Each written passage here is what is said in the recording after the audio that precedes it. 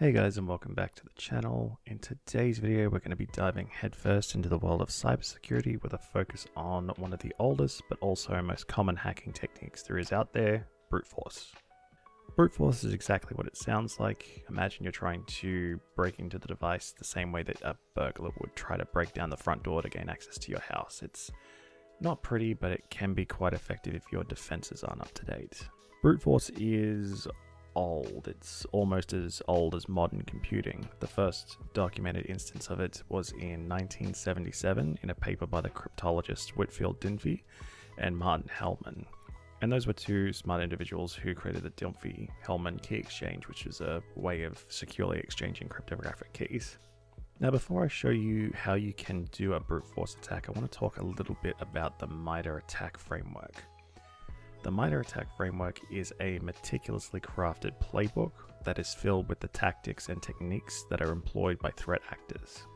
ATT&CK stands for Adversarial Tactics, Techniques, and Common Knowledge, by the way. Now, this was developed by the MITRE Corporation, and this framework provides a detailed map of how attackers operate. It's an invaluable resource for cybersecurity professionals to understand and defend against various cyber threats because it doesn't only show you what the attacks are, it shows you recent examples of the attacks, mitigation methods, and detection methods. In fact, uh, let's find here it is brute force. Brute force is listed as T1110 in the MITRE ATT&CK framework, and you can see here there are four sub techniques here. So let's go through. We can see recent examples, we can see mitigation strategies, and also detection methods. Of the four sub techniques, the simplest one to perform, but does take the most amount of time, is 001 guessing.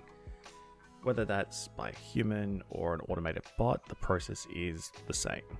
Is it username A, password A? No. How about username B, password A? No. And so on and so forth until the right combination is found. Humans humans are slow at this, but bots they can try hundreds if not thousands of combinations a second.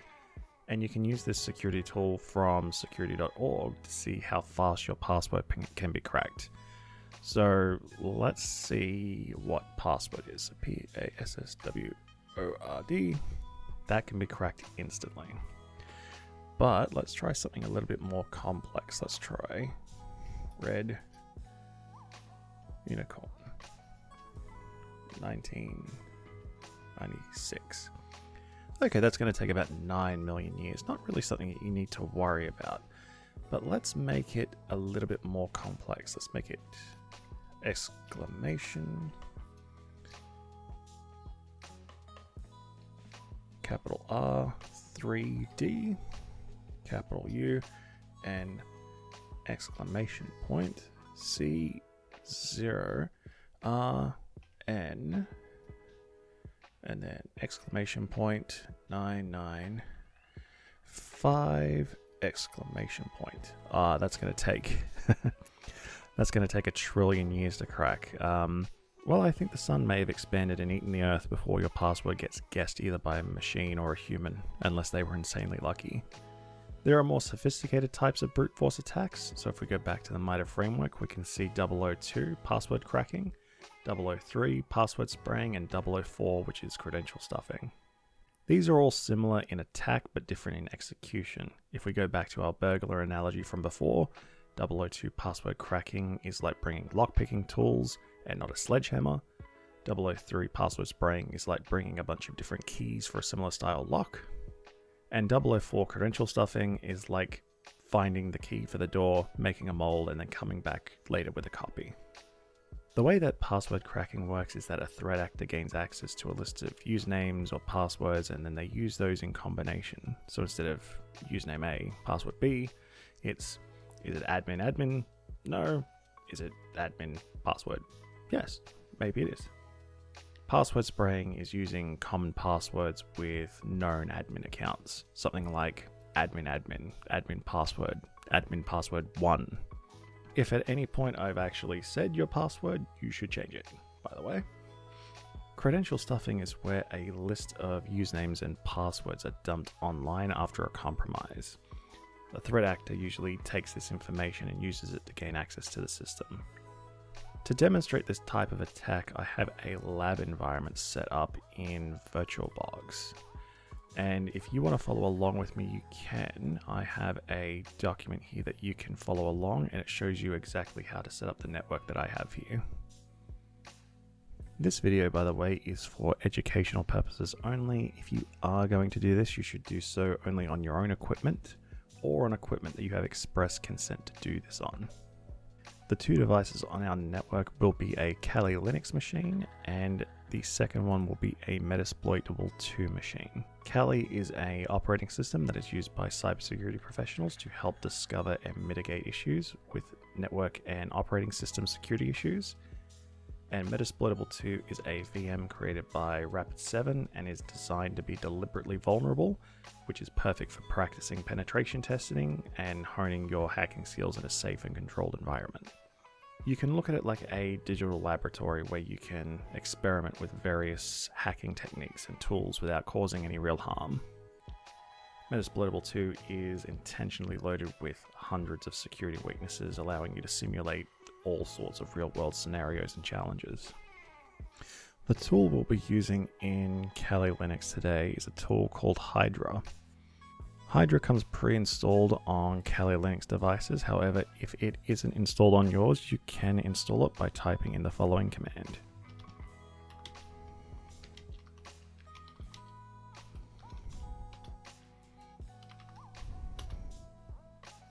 Hydra was created in 2000 by a group called The Hacker's Choice. Uh, that's thc.org if you want to learn more about them. What this tool allows you to do is use a list of usernames and passwords that you feed into it via a text document. And the cool thing about it is, is that it parallelizes the login cracker, which allows you to use more than one combination of username and password at a time. So I know that the Metasploitable 2's username and password are msfadmin and msfadmin. Super secure, right? So what I've done to demonstrate how Hydra works is that I've put a list of 10 usernames and passwords in these text files here on the desktop. So a savvy hacker wouldn't have just 10 in a text file, he might have something like 10 million if it's a broad attack. Or if it's very specific, they might have a few dozen or so. First up, let's grab the IP address for the Metasploitable machine. So you can grab it from the Metasploitable 2 console with an ifconfig command, but what we're going to do is we're going to do this all through the, uh, the Kali Linux device. And we're going to do it with a tool called Nmap. Nmap scans the network and gives you back a list of every device that's on the network with an IP and a list of other information, including which ports that are open which is good for us because what we want to do is exploit a few of those open ports. Specifically, we want to exploit port 21 FTP and port 22 SSH. What we want to do is find out the username and password for the Metasploitable device and then gain access to the console remotely. So let's go ahead and scan our network with the command nmap dash capital A and then the network address, which is 10.2.0 slash 24. And we'll just run a quick scan of the network here. Okay, so it looks like it's finished up the scan here. It took about 34 seconds. So let's go ahead and see what we've got here. And this looks to be right. We've got the Metasploitable device here. It's metasploitable.localadmin. Let's just scroll all the way up to the top. Okay, so we can see the IP address is 10.0.2.5. Yours might be different than what you can see here. And we can also see that port 21 and port 22 are open. So FTP and also SSH are open, which is great. So now let's try and gain access to the system. So I'm just going to close this and open a terminal here. So now let's try and gain access to the system using the following command. So it's hydra dash capital L usernames dash capital P passwords and then the IP address and then the protocol we're using, so FTP. Now you can alter this command depending on the amount of information you have. For example, if you had the username, you would change the capital L to a lowercase l, and then you would take out the username file and then you would put in the username. And the same for the password. If you knew the password, it's a lowercase p, and then pop in the password there. This is useful if you were trying to attack one specific account, like the admin account for instance, and you didn't know the password. Or maybe you lucked into finding plain text password somewhere, and you're trying to get into someone's account, but you don't know the username. Now I do know the username and password for the Metasploitable 2 device, but for demonstrative purposes I will show you how to do it if you don't have any info. And that's with the following command, hydra, all lowercase, dash capital L, usernames, which is the name of the file, uh, the file here, capital uh, dash capital P, passwords, which again is just the file name, the IP address followed by FTP, which is the protocol that we're trying to exploit. So you may have noticed that I right click to open a terminal on the desktop here, and the reason I've done that is because the username and password files are on the desktop. If you're using Hydra, the easiest way to do it will be to save those files to the desktop and then right click and open the terminal, uh, the desktop in the terminal, or to CD into the desktop and then run the files that way. That's why I say it's easier just to keep them on the desktop and then open desktop in terminal or CD into the desktop, rather than having to write the full file name in the in the command. So let's hit enter on this now and see it do its magic. And because those username and passwords had the MSF admin account at number one, it checked those first, so it was fairly quick. So what we can now do is we can take this information here and we can use that to gain access to the Metasploitable 2 device through SSH. And how we would do that is we would do the command SSH, msfadmin, and then the IP address of 10.0.2.5, then hit enter, now, you might get this error on screen, and this just means that the SSH client and our Kali Linux machine are having issues agreeing on a suitable key to initialize the handshake between the two devices, and a workaround for that is to do the following command.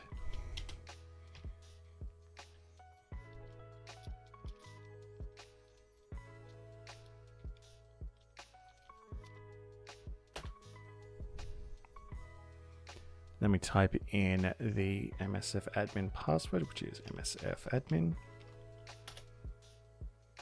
And we can see here that we are now logged in. So let's do a who am I command. Perfect. So here we are. So we are MSF admin and we are logged into the Metasploitable device. From here, you can do whatever you want to do. So let's um, Let's try and add a new user account. So let's do sudo.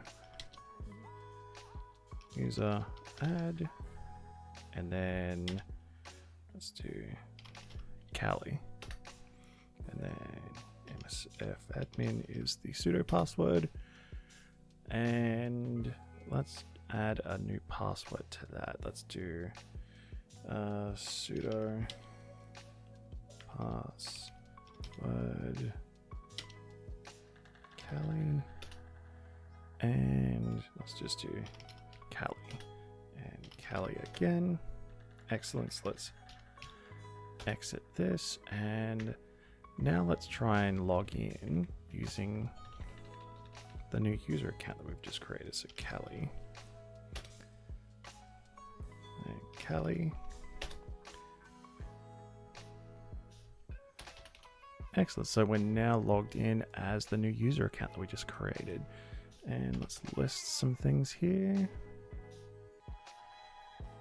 Uh, CD, USR.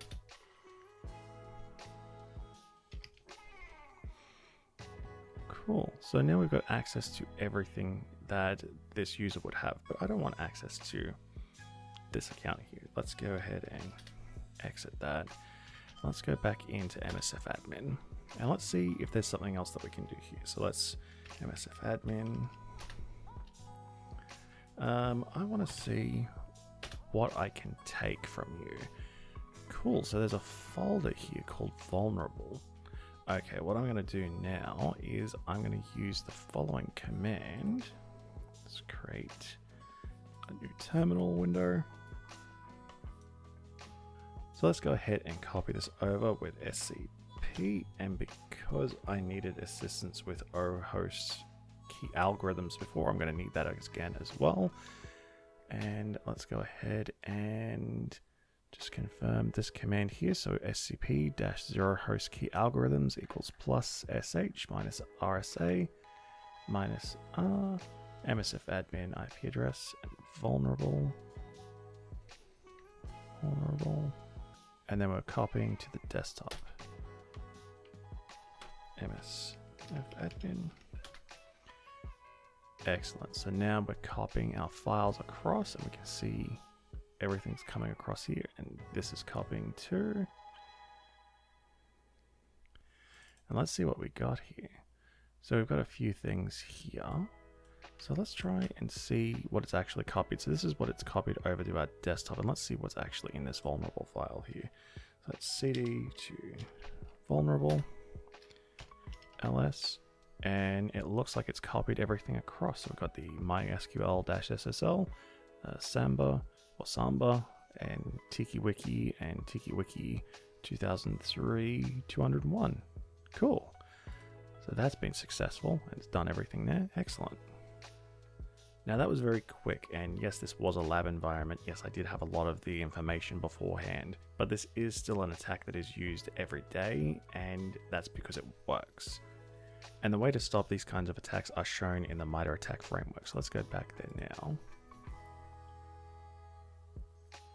You have to use things like account use policies, like locking out accounts that have tried multiple failed passwords, policies that block external IPs or untrusted IP addresses from accessing the network, things like multi factor authentication or password policies, making sure that easily guessed passwords or reused passwords aren't used. To detect these types of attacks, you're looking for a type of software called a SIEM, S I E M, which is a security information and event management system this collects data like failed login attempts and alerts you to the fact that there's an issue.